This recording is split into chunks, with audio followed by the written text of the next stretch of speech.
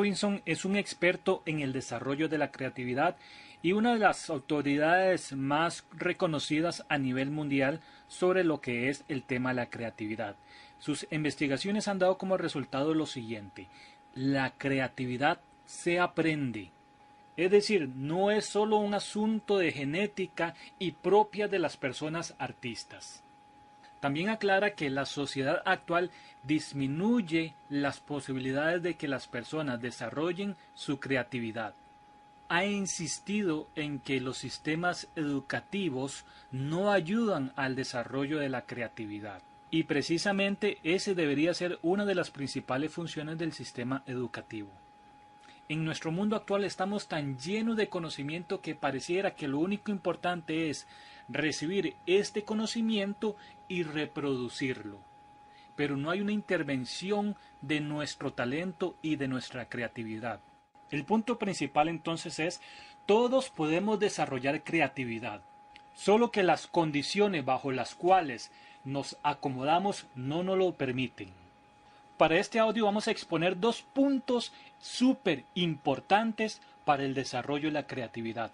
El primero es, aquello que decidas hacer, aquello en lo que te decidas desarrollar, tiene que estar alineado a tus habilidades y fortalezas personales.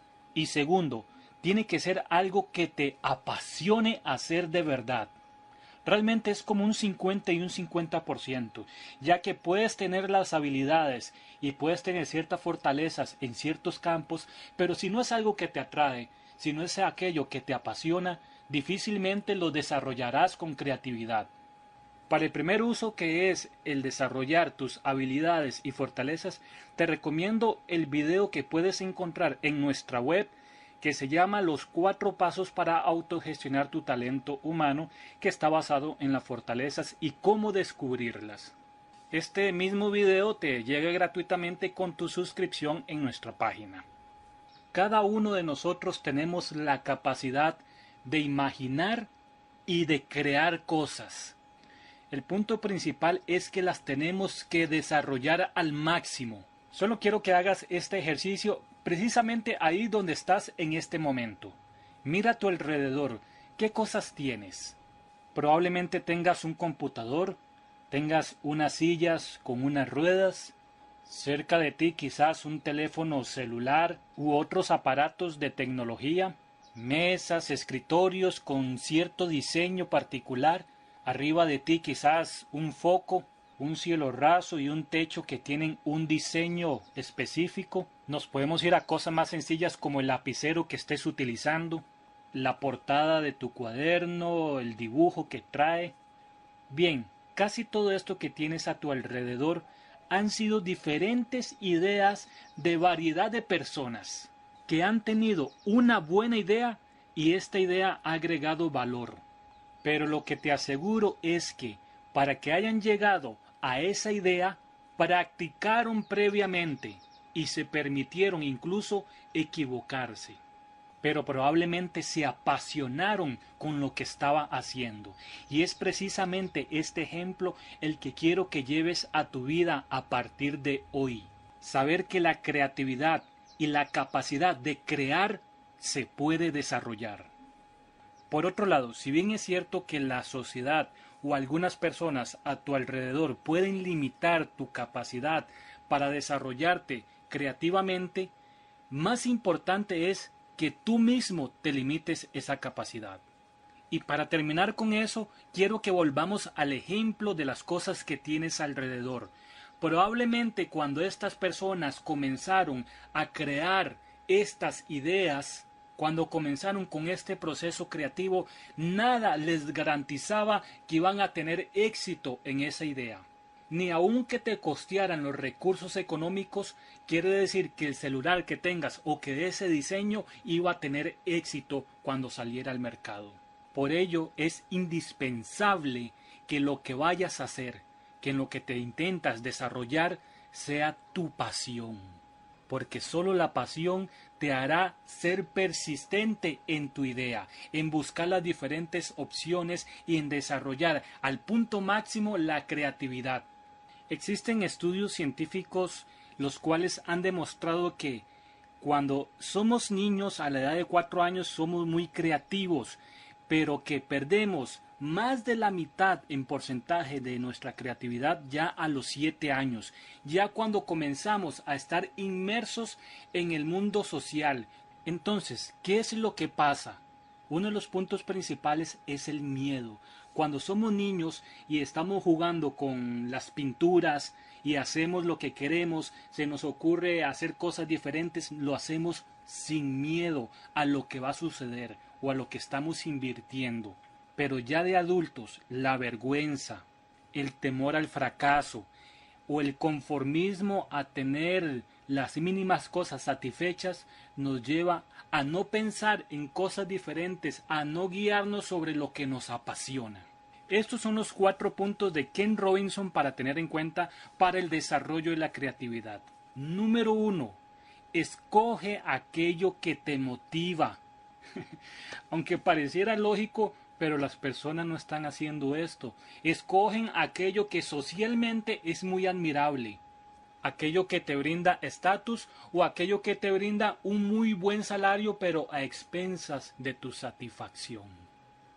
El segundo punto que menciona Ken Robinson es el que ya mencionamos anteriormente y se trata de que las actividades que hagas vayan en sintonía con tu pasión, con lo que amas hacer. El tercer punto es entregarse. Y esto significa a repetir, a repetir varias veces, a desarrollar también la disciplina en que lo vas a hacer constantemente. Y esto a la vez acompaña al cuarto punto que es arriesgarse. Y arriesgarse sabiendo que como todo lo que está a tu alrededor se ha tenido que fallar para llegar a esa buena idea que hoy es totalmente funcional y para nosotros es una idea que fue totalmente creativa. Esto es la fórmula de la creatividad, no hay otra. La creatividad realmente no es un don mágico que solo algunas personas tienen. Esto es lo que hay que entender. Todos tenemos la posibilidad de desarrollar nuestra creatividad, solamente que tenemos que ir por ella. Partiendo desde el punto en que las ideas que tienes tú en este momento alrededor han sido un camino de errores y un camino de repeticiones constantes, aquí hay otro secreto, y es que esta misma repetición, esta misma capacidad de buscar diferentes vías de lograr el objetivo, les permitió controlar las herramientas y el campo de actuación. Solo con los diferentes intentos ellos fueron descubriendo lo que no funcionaba y lo que sí les estaba funcionando. Y todo ello los dirigió a la idea innovadora y creativa que en su determinado momento agregó y sigue agregando, ¿por qué no?, valor a nuestras vidas. Ya ves, eso realmente es la creatividad. Y el ejemplo fabuloso que pone Ken Robinson para explicar esto es que cuando se te dice que una persona no sabe leer, no piensas que la persona tiene la incapacidad para hacerlo, sino que simplemente no ha ido, no ha asistido a un sistema educativo donde se lo han enseñado. Igual y precisamente es lo que sucede con la creatividad. No puedes decir a partir de hoy que no eres una persona creativa puedes comenzar a desarrollar tu creatividad o en todo caso llevarla a un tope máximo por medio de todas estas ideas que te he explicado. Por otro lado, si descubres que lo tuyo es otra cosa que no estás desarrollando ahorita, ten cuidado con hacer un cambio irresponsablemente.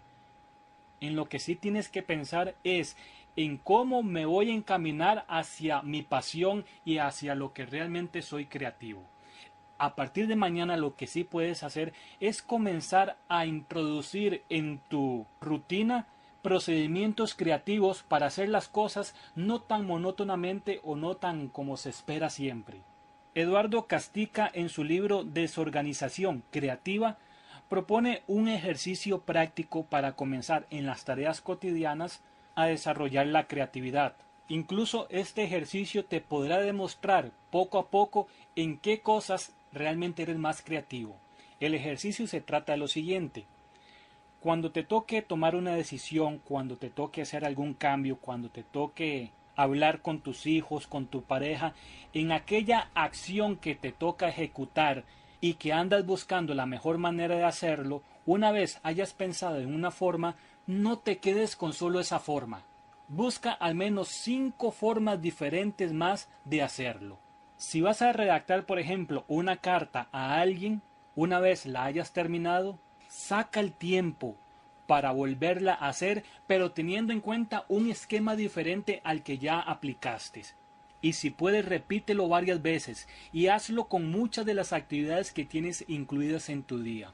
Por ejemplo, haz una lista de cinco saludos diferentes para tus compañeros, para tu jefe. Pero el punto principal es tómate el tiempo para pensar en esas cinco opciones de más, que eso es mínimo para hablar de creatividad, recordemos que lo que tienes a tu alrededor para llegar a esa idea creativa, las personas han tenido que invertir más de cinco veces de repensar la idea, pero es una excelente forma de comenzar a desarrollar y poder identificar dónde realmente eres creativo. Verás que bajo ciertas circunstancias sueles ser más creativo y ahí ya tienes la pista para enfocarte en esas acciones. La creatividad se puede aprender, Solo falta que la comiences y quieras trabajar en desarrollarla.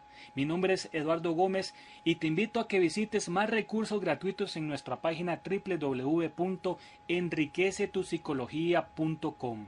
Nos enfocamos en la psicología positiva centrada en las virtudes y fortalezas de las personas. Por favor, comparte este audio si crees que para alguien más puede ser interesante o importante. Aquí tienes una opción para la descarga del mismo. Y para contratación de servicios profesionales en Costa Rica sobre gestión del talento humano, motivación personal, motivación aplicada al trabajo pero científicamente, es decir, no por medio de palabras bonitas, sino por acciones que se pueden ejecutar en los puestos de trabajo, también como temas del desarrollo de relaciones positivas, comunicación positiva, por favor pregúntame o solicita tu capacitación o charla. Y para terminar te recuerdo que nuestra principal misión es agregar valor a la vida de las personas. Muchas gracias.